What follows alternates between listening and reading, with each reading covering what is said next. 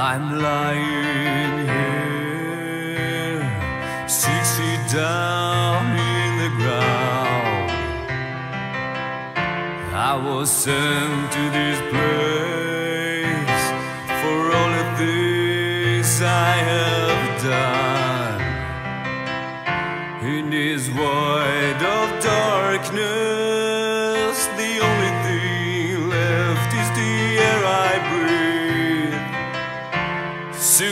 I will suffocate and pay for all the sins I did.